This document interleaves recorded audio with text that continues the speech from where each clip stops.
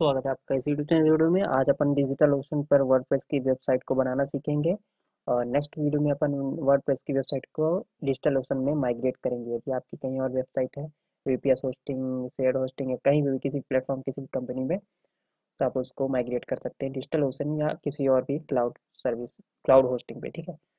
तो आज देखेंगे वर्ड में वर्ड को डिजिटल ओशन में कैसे बनाते हैं।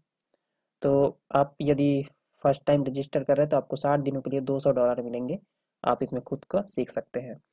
तो वीडियो के डिस्क्रिप्शन में लिंक रहेगी तो वहाँ से आप खरीदेंगे मतलब अकाउंट बनाएँगे फ्री में। तो बस सिंपल सा आपको दो सौ रुपये का क्रेडिट मिल जाएगा और साथ में मुझे पच्चीस रुपये पच्चीस डॉलर क्रेडिट मिल जाएगा। आपको दो सौ डॉलर क्रेडिट मिल जाएगा, जिससे कि आप यूज़ कर सकते हैं, ट्राई कर सकते हैं और मेरे काम आ सकते हैं पच्चीस डॉलर। तो फ़र्स्ट टाइम पे यदि आप ट्राई कर रहे हैं तो फ़र्स्ट टाइम में आपको रजिस्ट्रेशन करना होगा। तो आप इसको साइन अप कर सकते हैं गूगल अकाउंट से। अकाउंट बना लिया हुआ है। अब यहाँ पे वेटिंग का साइन दिखाया है तो इंतज़ार कर लेते हैं। अब इस तरह से वर्डप्रेस क्या लिखा है tried for free complete account registration to credit for use students तो फ़र्स्ट टाइम पर अपन ये ट्राई कर रहे हैं तो आपको बिलिंग का करना पड़ेगा आपको। बस अकाउंट नहीं कटेगा। आप पहले आप तो अपना कैटेगरी सेलेक्ट कर लीजिए, क्या वेबसाइट किस लिए प्लान कर रहा है डिजिटल को। तो वेबसाइट के लिए। और फिर रोल क्या रहेगा? आप ऑनर है। तो ठीक है।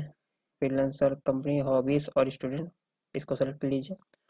और आपके इनकम तो मान लीजिए ज़ीरो से पचास डॉलर के बीच होगा। अभी तो कुछ है ही नहीं।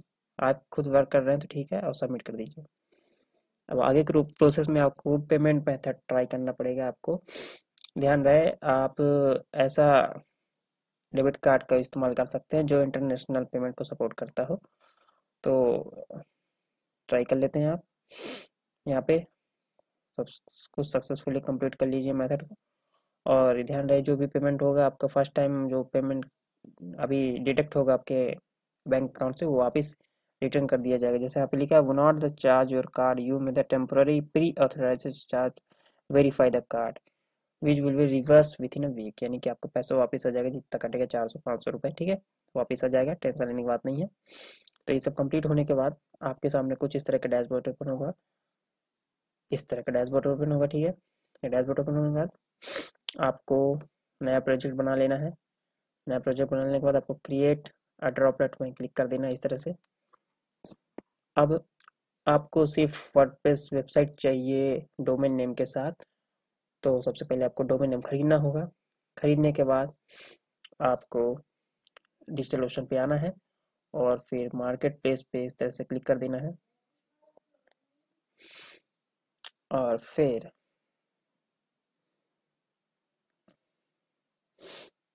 यहाँ पे अभी आ ही नहीं पा रहा है क्या? आ गया।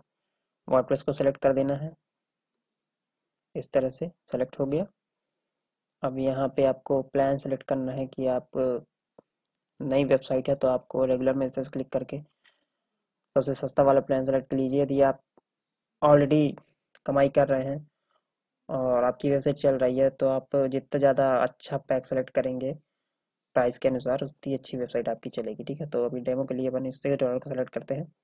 और पासवर्ड यहाँ पे पासवर्ड बनाएँ, जैसे यहाँ पे लिखा हुआ है।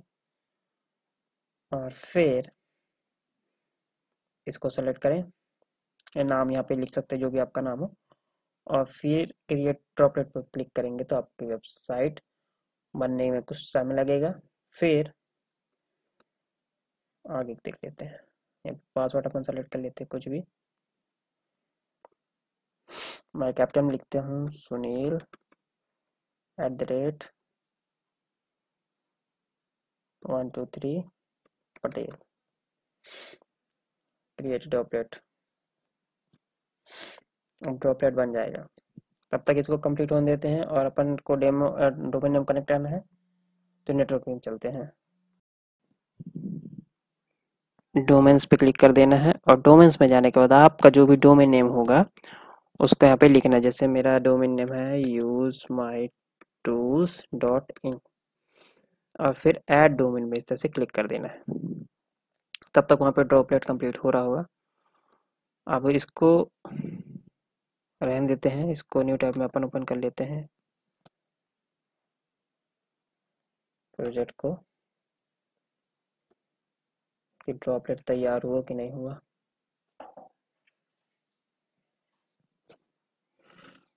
देख सकते हैं ड्रॉपलेट यहाँ पे सक्सेसफुली तैयार हो गया है।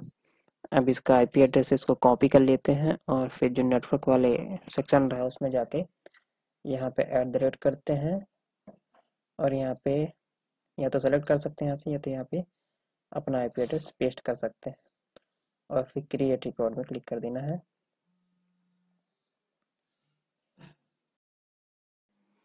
अब वापिस से सी नेम में चलना है और यहाँ पे होस्ट नेम पे डब्ल्यू डब्ल्यू डब्ल्यू और नीचे आप देख सकते हैं एग्ज़ाम्पल में डब्ल्यू डब्ल्यू क्यों लगाया ताकि कोई भी वेबसाइट आपकी ओपन हो तो इस तरह से ओपन हो। फिर यहाँ पे वापस से आप एट द रेट कर दीजिए। और क्रिएट बटन पे क्लिक कर दीजिए। तो यहाँ पे सक्सेसफुली कंप्लीट हो गया है। और वापस से अपने ड्रॉपलेट पे चलते हैं। और यहाँ पे जो थ्री डॉट पे क्लिक करेंगे तो एक्सेस कंसोल का ऑप्शन आ रहा होगा, इस पर आपको क्लिक कर देना है। और फिर लॉन्च ड्रॉपलेट पे सेलेक्ट क्लिक कर देना है। ये आप प्रोसेस डोमेन नेम सेलेक्ट करने वाली प्रोसेस करने के बाद आपको D N S checker dot O R G में जाना है और अपना डोमेन नेम जो भी आपका होगा, उस डोमेन नेम को एंटर करना है। जैसे use my tools dot in तो इसका जो भी आईपी एड्रेस है, ये अभी टू टू नाइन है लास्ट में, लेकिन इसका आईपी एड्रेस क्या है? सिक्स टू है। देख सकते हैं ना? तो जब तक कि सभी के सभी आपके जो नए आईपी एड्रेस दिखाने लग जाए, तभी आप जो मैं बता रहा हूँ लॉन्च ड्रॉपलेट वाली कंसोल की प्रोसेस को ट्राई कीजिएगा। मतलब कि तीन चार घंटे बाद अब इसको ट्राई कीजिएगा। ताकि आपका यहाँ पे जो डब्ल्यू डब्ल्यू डब्ल्यू डॉट और non W W dot S T T T P का सर्टिफिकेट लगा हुआ रहे, ठीक है? तो अभी तो मेरा अप्लाई नहीं है। तो मैं दिखा देता हूँ कि इरर क्या आता है। बाकी आप अप्लाई कीजिएगा जब यहाँ पे आपका नया डोमेन नया आईपी एड्रेस यहाँ पे शो होने लग जाए सभी में, ठीक है? तो चलिए देख लेते हैं। यहाँ पे डोमेन नेम लिखते हैं। यूज़ माई टूल्स डॉट यहाँ पे क्लिक किए। अब यहाँ पे अपना ईमेल एड्रेस इंटर कर दीजिए, ताकि जो भी नोटिफिकेशन हो आपके ईमेल एड्रेस पे आती रहे, ठीक है? अब एंटर किए। अब यूज़र नेम जो आप वेबसाइट को वर्डप्रेस के होम पेज से लॉगिन करेंगे, वो यूज़र नेम लिखिए। तो यूज़र नेम अभी टेम्प्रेरी में लिख रहा हूँ, बाकी मैं डिलीट कर दूँगा तो user name Sunil Patel two four one रहेगा। आप लॉगिन पासवर्ड बना लीजिए। लॉगिन पासवर्ड सिंपल सा है। Sunil at the rate one two three मैं सब डिलीट कर दूँगा तो आपको किसी मतलब का नहीं है, ठीक है?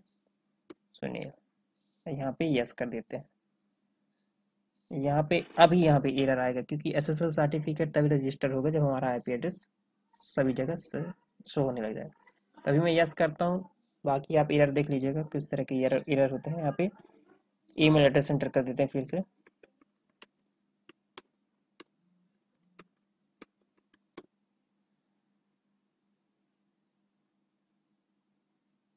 अब यहाँ पे नो कर दीजिए ताकि आपकी ईमेल आईडी को शेयर ना किया जाए। देख सकते हैं यहाँ पे unable to register with the M server ठीक है मतलब क्या बोलते हैं वो आईपी एड्रेस शो नहीं हुआ सेलेक्ट नहीं हुआ सभी जगह इसीलिए।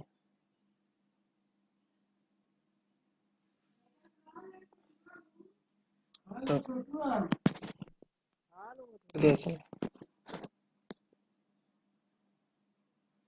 तो आप वर्डप्रेस की वेबसाइट पे लॉगिन कर लेते हैं, कंप्लीट होगी इसको एग्जिट करके क्लोज कर देते हैं।